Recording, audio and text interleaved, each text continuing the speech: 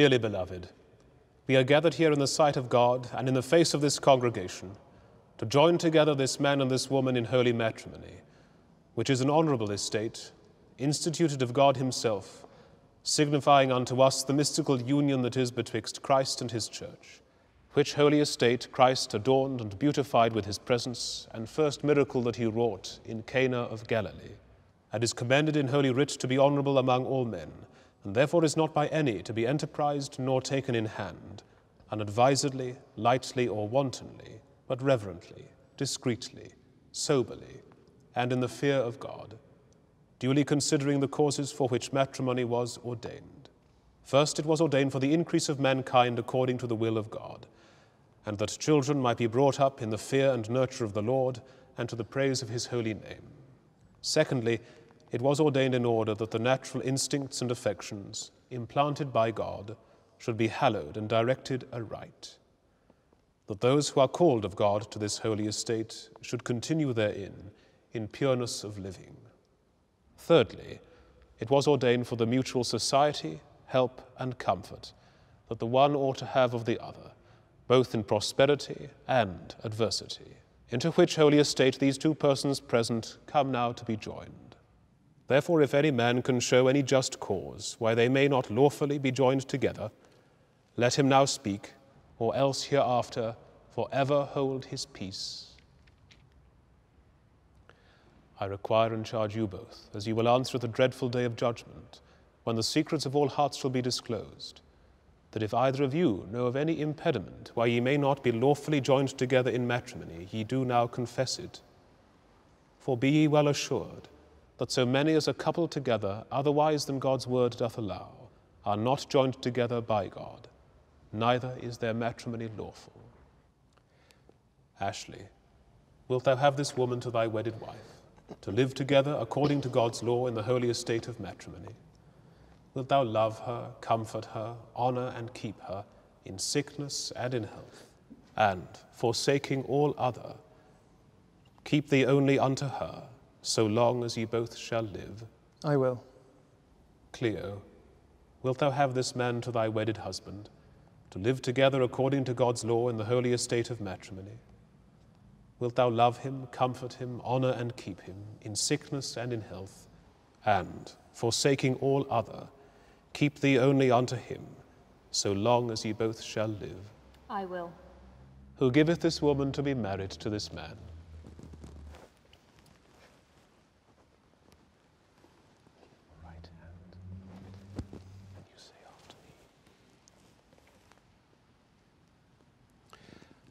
I, Ashley, I, Ashley, take thee, Cleo, take thee, Cleo, to my wedded wife, to my wedded wife, to have and to hold, to have and to hold, from this day forward, from this day forward, for better, for worse, for better, for worse, for richer, for poorer, for richer, for poorer, in sickness and in health, in sickness and in health, to love and to cherish, to love and to cherish, till death us do part, till death us do part, according to God's holy law, according to God's holy law, and thereto and thereto I give thee my troth. I give thee my troth. You loose your hands and now join them together again. I, Cleo, I, Cleo, take thee, Ashley, take thee, Ashley, to my wedded husband, to my wedded husband, to have and to hold, to have and to hold, from this day forward, from this day forward, for better, for worse, for better, for worse, for richer, for poorer, for richer, for poorer, in sickness and in health, in sickness and in health, to love and to cherish, to love and to cherish, till death us do part, till death us do part, according to God's holy law. according to God's holy law. And thereto And thereto I give thee my troth. I give thee my troth.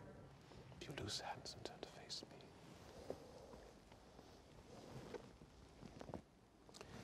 Bless, O Lord, this ring, and grant that he who gives it and she who shall wear it may remain faithful to each other and abide in thy peace and favor, and live together in thy love unto their lives' end. Through Jesus Christ our Lord. You place that on the fourth finger of left hand. Hold it there and then say after me.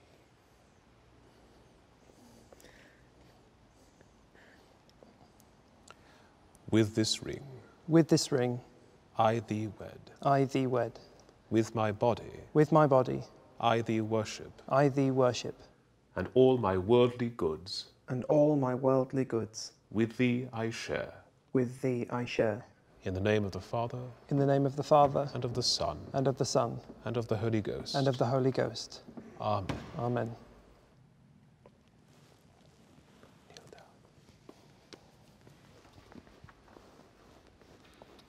Let us pray.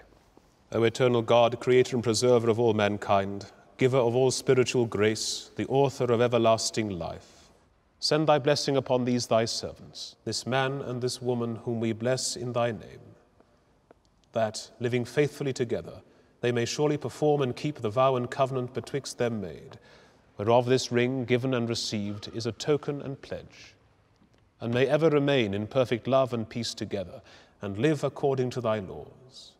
Through Jesus Christ our Lord. Amen. Amen. Join your right hands together.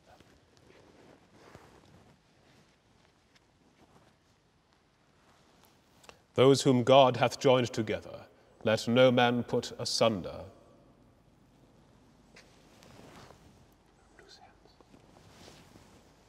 Forasmuch as Ashley and Cleo have consented together in holy wedlock, and have witnessed the same before God and this company, and thereto have given and pledged their troth either to other, and have declared the same by giving and receiving of a ring and by joining of hands, I pronounce that they be man and wife together. In the name of the Father, and of the Son, and of the Holy Ghost. Amen. God the Father, God the Son, God the Holy Ghost, bless, preserve, and keep you. The Lord mercifully with his favor look upon you, and so fill you with all spiritual benediction and grace, that ye may so live together in this life, that in the world to come ye may have life everlasting. Amen.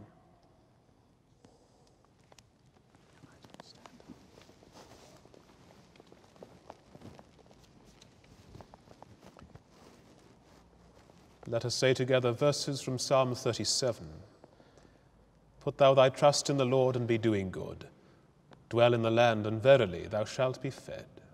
Delight thou in the Lord, and he shall give thee thy heart's desire. Commit thy way unto the Lord, and put thy trust in him, and he shall bring it to pass. He shall make thy righteousness as clear as the light, and thy just dealings as the noonday. Hold thee still in the Lord, and abide patiently upon him. Glory be to the Father, and to the Son, and to the Holy Ghost, as it was in the beginning, is now, and ever shall be, world without end. Amen. Let us pray.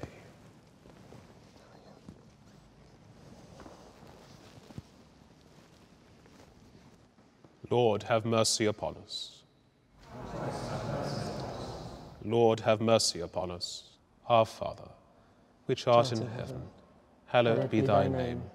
Thy kingdom come, thy will be done, in earth as it is in heaven.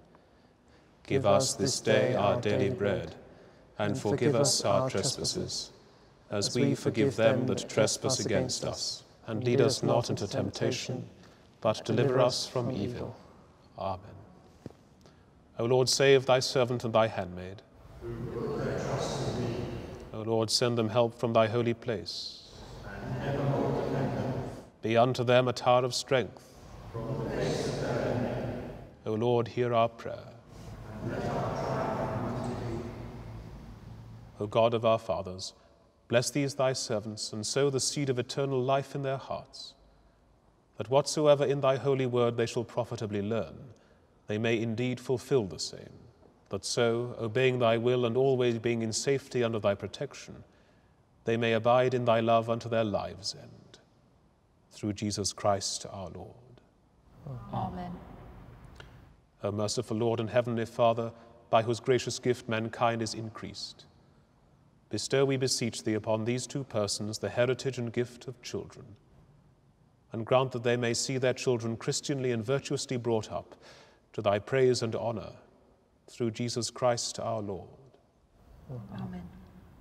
O God, who hast taught us that it should never be lawful to put asunder those whom thou by matrimony hast made one, and hast consecrated the state of matrimony to such an excellent mystery that in it is signified and represented the spiritual marriage and unity betwixt Christ and his church. Look mercifully upon these thy servants, that both this man may love his wife according to thy word, as Christ did love his spouse, the church, who gave himself for it, loving and cherishing it even as his own flesh and also that this woman may be loving and amiable and faithful to her husband, and in all quietness, sobriety, and peace be a follower of holy and godly matrons. O Lord, bless them both, and grant them to inherit thy everlasting kingdom. Through Jesus Christ our Lord. Amen. Almighty God, the Father of our Lord Jesus Christ, pour upon you the riches of his grace sanctify and bless you, that ye may please him both in body and soul, and live together in holy love unto your lives' end. Amen. Would you like to stand up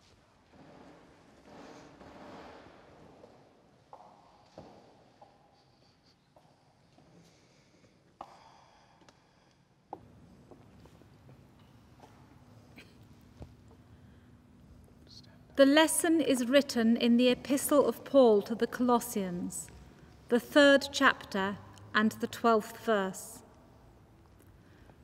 Put on, therefore, as the elect of God, holy and beloved, bowels of mercies, kindness, humbleness of mind, meekness, long suffering, forbearing one another, and forgiving one another if any man have a quarrel against any.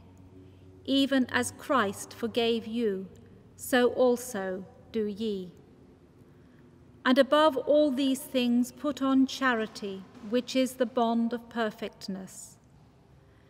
And let the peace of God rule in your hearts, to the which also ye are called in one body, and be ye thankful. Let the word of Christ dwell in you richly in all wisdom, teaching and admonishing one another in psalms and hymns and spiritual songs, singing with grace in your hearts to the Lord. And whatsoever ye do in word or deed, do all in the name of the Lord Jesus, giving thanks to God and the Father by him. Here endeth the lesson.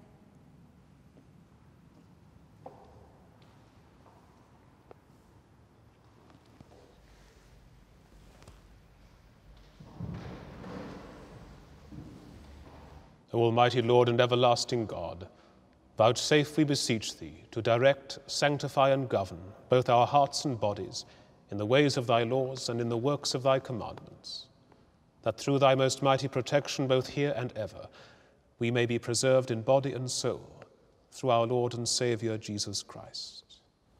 Amen. The blessing of God Almighty, the Father, the Son, and the Holy Ghost be amongst you and remain with you always.